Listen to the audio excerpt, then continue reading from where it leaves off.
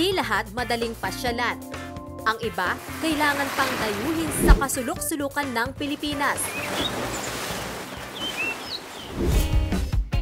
At kung pang malakas ang bucket list ang hanap mo, huwag magdalawang isip na bisitahin ang Sulu.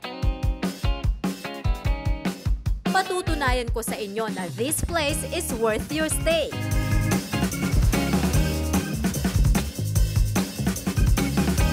May potensyal sa tourism ang Sulu kasi maganda ang Sulu naturally.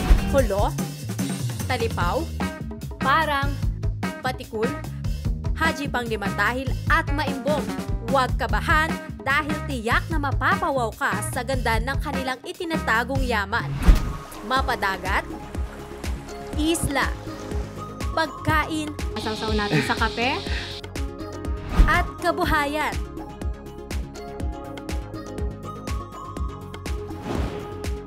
Makikisaya tayo sa makulay at makasaysayang kultura ng mga tausok.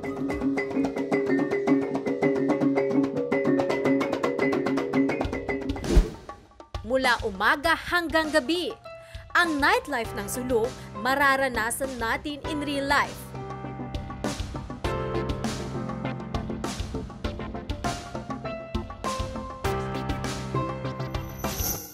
May bonus pang trail ride na kanilang tourist spot sa komunidad mismo ng Moro National Liberation Front o MNLF.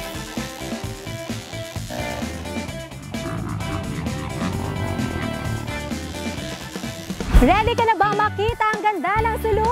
Tara na't magbiyahe and experience the Sulu Wonders. Sung na pa Sulu!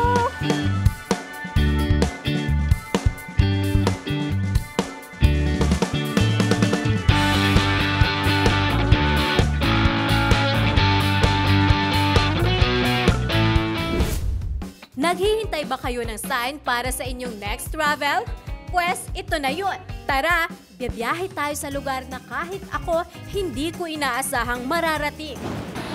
Well, ang, ang Sulu before, lagi mong naririnig sa news yan, di ba? Pag naririnig mo sa news yan, puro negative pa. Sumikat siya in a negative uh, way. But uh, just recently, itong for the past two years, uh, hindi na ganun ang situation sa Sulu. Ang laki na ng pinagbago. Tama ang dinig ninyo, biyahing sulut tayo ngayon.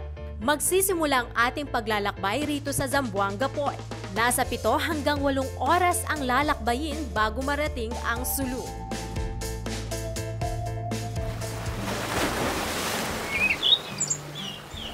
Makalipas ang halos walong oras na biyahe, nandito na tayo ngayon sa Sulu. First time natin makarating dito at excited na tayong explore ang kanilang napakagandang lugar.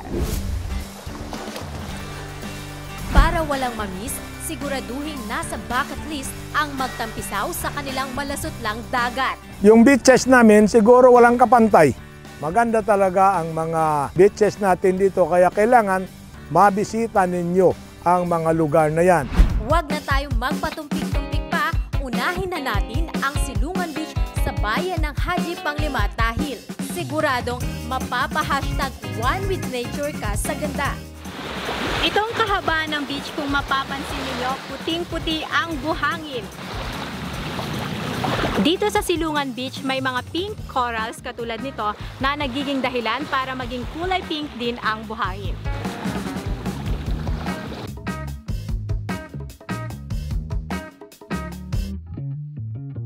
Pero ang pinakamagandang parte ng pamamasyal dito ang makitang may ambag sa kabuhayan ang turismo.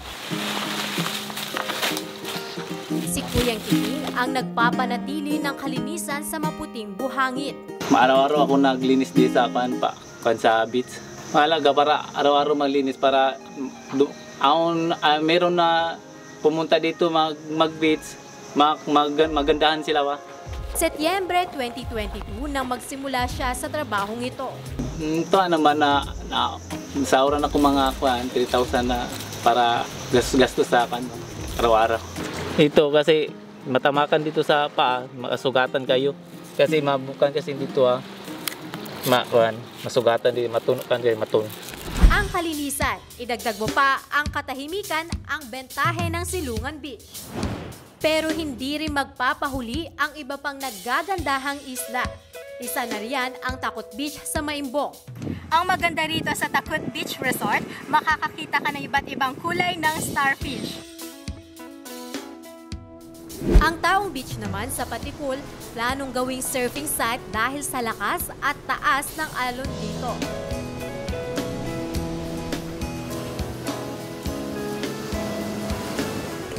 Mapaisla o White Beach, never ending ang kanilang white sand.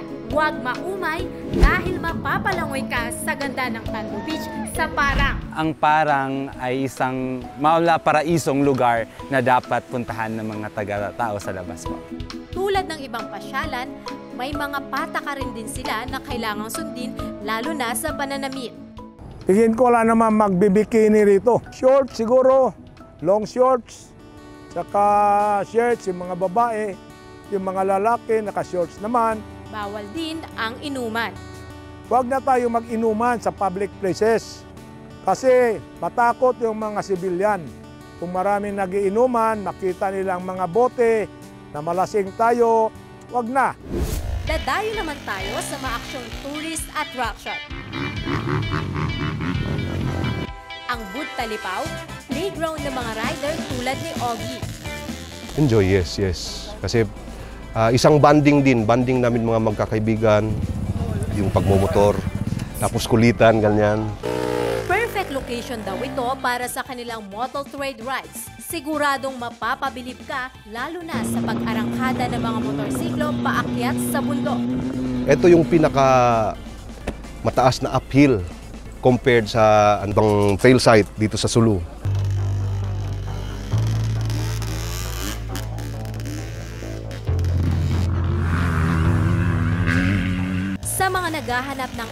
Out-of-the-box adventure sa Sulu, Bud Talipaw got you covered. Dahil siguradong tataas daw ang iyong adrenaline rush sa kakaibang challenge na hatid ng pag-akyat sa bundok na ito. Challenging kasi yung obstacle dito. May stage 1, stage 2, stage 3. Pag sa peak ka na, yun na yung stage 3 na tinatawag. Matapos ang hirap, mapapawaw ka naman sa ganda ng view sa tuktok ng Bud Talipaw. Ika nga, mapapasabi ka raw na I'm on the top of the world. Masarap kasi yung feeling pag sa taas na, kitang-kita mo na lahat. Pero ang isa raw na nagpapaysay sa mga nagmamotor trail ang kanilang audience. Walang iba kundi ang mga miyembro ng Moro National Liberation Front o MNLF. Siyempre masaya, happy. Kasi parang hindi na nakakatakot. Punta dito, pwede ka nang mamasyal. Pwede mo nang akyat, akyatin yung Bud Talipaw. Ang MNLF mismo ang lumapit sa munisipyo ng Talipaw para tulungan silang maging tourist attraction ang kanilang kampo. Dili na alam ang reality ng Sulu. Ang Sulu, pag walang gulo, eh dito, ganito. Masaya, masaya ang tao.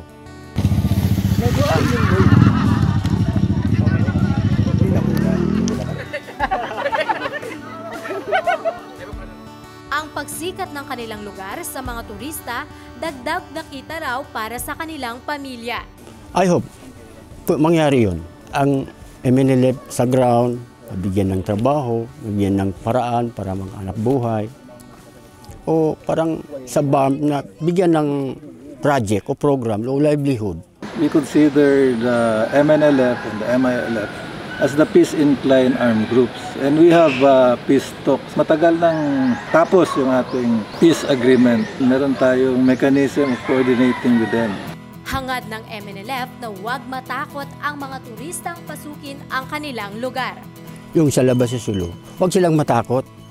Kasi bakit sila matatakot? May, may PNP tayo, may sundalo tayo.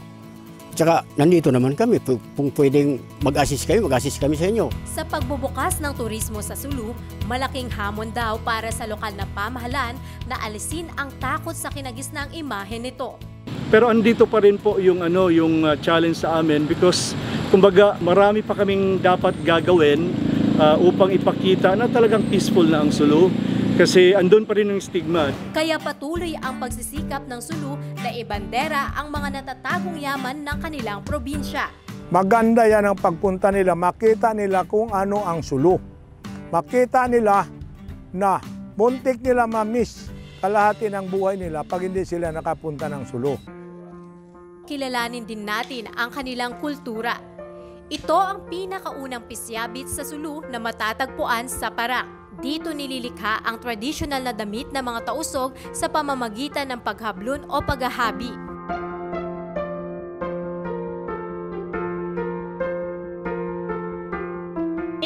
Natapos na pisyabit at kung mapapansin ninyo may iba't ibang disenyo. Mas mahal ang presyo kapag mas maliit ang tahi dahil dito raw nakadepende ang authenticity ng pisyabit. Siyempre, hindi pwedeng hindi ko subukang isuot ang kanilang traditional na kasuotan na panamungsog. Ito ang panamungsog ng mga tausog na sinusuot nila sa kanilang mahalagang okasyon. Makulay at mayaman sa kasaysayan ang Sulu. Ang pagiging sinaunang daungan ng mga mangangalakal sa Asya ang naging daan sa pagdating ng mga misyonerong Muslim mula sa gitnang silangan at pagkakatatag ng sultanato ng Sulu na pinamunuan ng Arabong misyonero na si Sultan Abu Bakar. Speaking of sultanato, welcome sa replika ng Astana Darul Jambangan na matatagpuan sa munisipyo ng Talipao, ang nagsilbi umanong palasyo ng mga naging sultan ng Sulu. Overlooking dito ang napakagandang Mount Bayog. Higit sa magandang istruktura ng Astana, ang mas nagpa-excite sa akin ang pag-welcome ng mga tausog habang sinasayaw ang cultural dance na pangalay.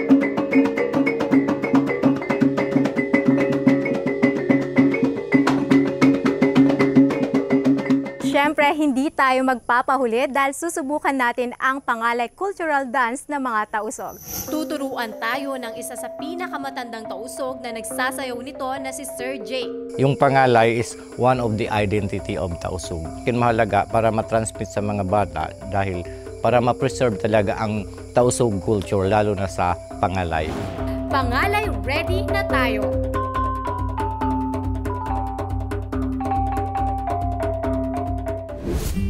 Napagod na ba kayo sa ating pamamasyal? Siguradong gutom na kayo. Ang ating Sulu Travel hindi matatapos kung hindi tayo chichibo. Pagsapit ng gabi, kaliwat ka ng kainan ang nananatiling bukas para sa mga gustong i-enjoy ang nightlife ng Sulu. When we say nightlife here in Sulu, it's just uh, coffee, dinner, mga ganyan. Hindi yung nightlife na merong alcohol. Wala, wala.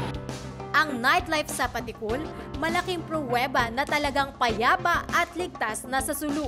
Ang may-ari ng kainang ito na si Ronier, patunay raw sa malaking pagbabago sa lugar. 6pm dati, nasa bahay ka na dapat.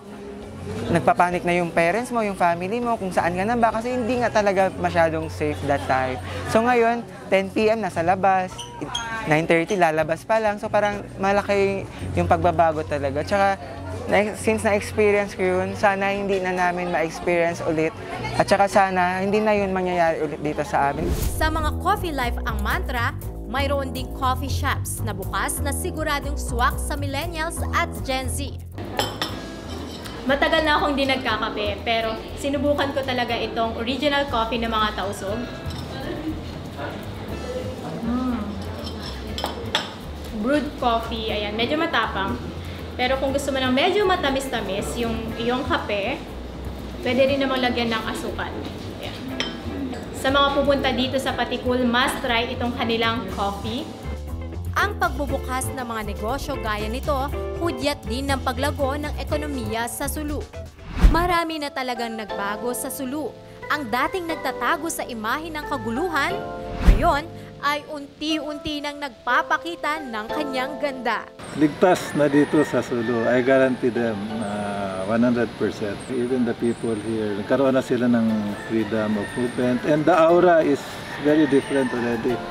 Patunay dyan ang pagdami ng mga turista na bumisita sa Sulu mula 2018. Marami na rin ang nagsasabi, yung mga napunta na dito, na hindi lang actually ang nakita nila yung ganda ng kalikasan ng Sulu, kundi na-feel din nila yung kabaitan. No? Isa ito sa mga pinagmamalaki namin. Aminado ang lokal na pamahalaan ng Sulu na marami pa silang dapat gawin para maging handa sa pagdayo ng mga turista.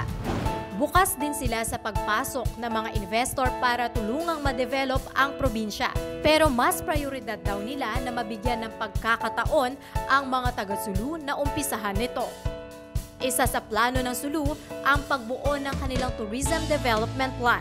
Yung Tourism Development Plan, maayos ang pagkakagawa ng mga tourist spot natin. Gaya ng ating mga beaches na malagyan ng mga facilities. Siyempre, hahanapin ng turista, may ah, health center ba dyan? Kumusta ba ang communication dyan? May tubig ba dyan? May ilaw ba dyan? Ah, ngayon na ang ah, panahon na gawin namin ito bago pa masira itong mga lugar na ito. Ito lang ang bayan namin, ayaw namin masira. Pakiusap naman ng Tourism Office ng Sulu sa mga nagbabalak pumunta sa kanilang lugar. We really encourage everyone na pumunta with coordinations. We discourage DIY. Uh, although sabi nga namin, kapag nag-DIY DIY sila at pumunta sila ng opisina, uh, uh, tinutulungan din po natin pero may mga instances mas nasasayang po yung ora yung yung, yung time nila uh, kapag uh, walang proper coordination po pagdating sa sulod. At para mas mapadali ang pakikipag-ugnayan ng mga turista, inilunsad ng probinsya ang mobile application na Sulu Travels. Doon pa lang sa applications ay ma- madadala natin sila sa iba't ibang lugar. Doon sa app na yun po ipapakita natin ah, kung ano yung ganda ng lugar, ano yung makikita, ano ba yung pwedeng bilhin, ah, ah, paano pumunta doon at sino ang ikokontak. Ang probinsyang akala nating napag-iwanan, nakikisabay na rin sa mga pagbabago. Lahat ito naging posible dahil sa pagtutulungan ng lahat ng mga taga rito. Kaya naman sa pagbabagong ito, isa lang ang kanilang hiling. Sana ah, magustuhan ng taong bayan at ah, lahat ng tao na magpunta sila sa Sulu. Travel to remember ang aking pagpunta sa Sulu. Maraming taon ang hinintay bago ito mapasyalan. Posible naman pala.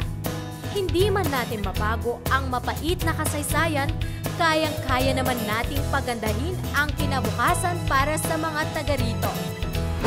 Tara na sa Sulu!